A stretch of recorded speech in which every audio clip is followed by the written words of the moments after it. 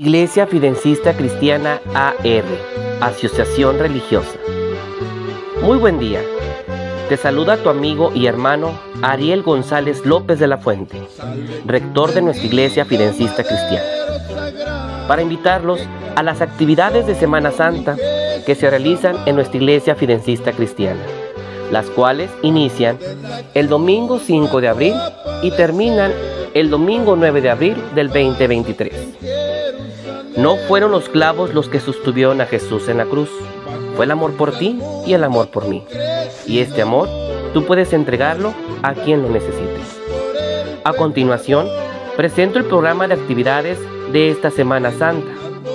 El día domingo 2 de abril tenemos la procesión de Día de Ramos, que se llevará a cabo a las 11 de la mañana, la cual inicia desde el pirulito hasta llegar a nuestra iglesia.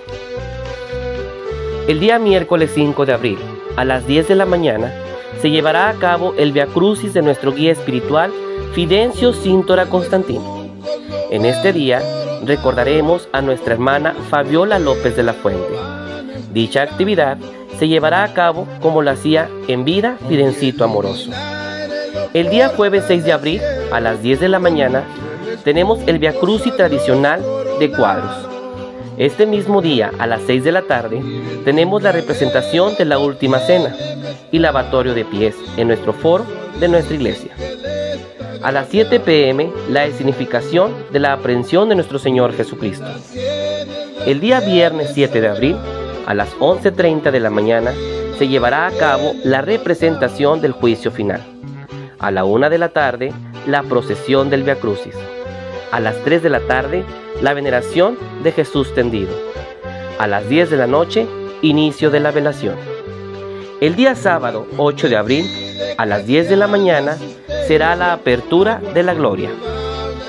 El día domingo 9 de abril, la misa de Pascua a las 12 del mediodía. Yo soy la resurrección y la vida. El que cree en mí, aunque esté muerto, vivirá. Iglesia Fidencista Cristiana invita. Ven y vive una Semana Santa totalmente diferente.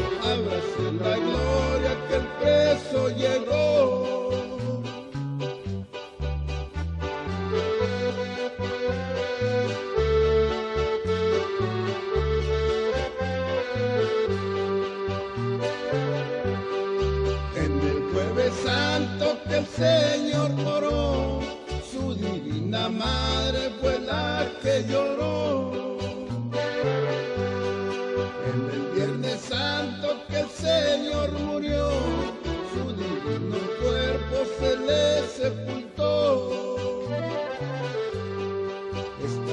alabanzas que aquí hemos cantado, que sean urgencias que al cielo han llegado.